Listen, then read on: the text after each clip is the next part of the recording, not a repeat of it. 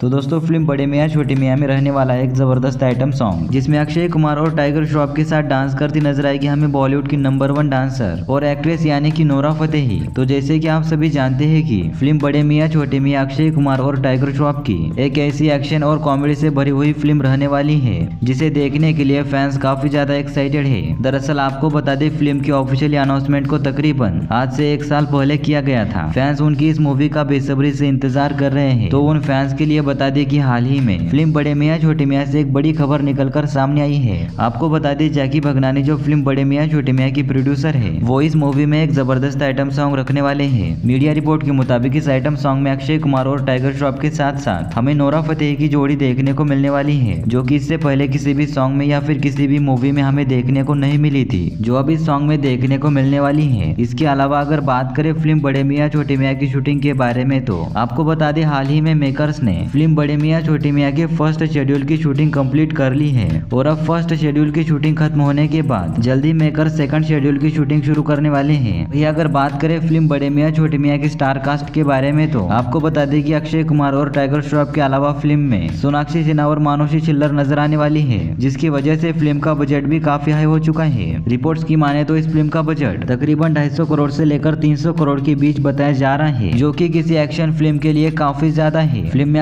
अक्षय कुमार टाइगर श्रॉफ और Nora Fatehi का item song होने वाला है, ऐसी खबरें हैं। वैसे आप कितने एक्साइटेड इस फ़िल्म के सॉन्ग्स के लिए कमेंट करके ज़रूर बताना। बाकी अगर आप भी खिलाड़ी कुमार के डायहार्ट फ़ैन है तो ऐसी ही अक्षय कुमार की मूवी से रिलेटेड हर एक अपडेट के लिए हमारे चैनल को सब्सक्राइब करें।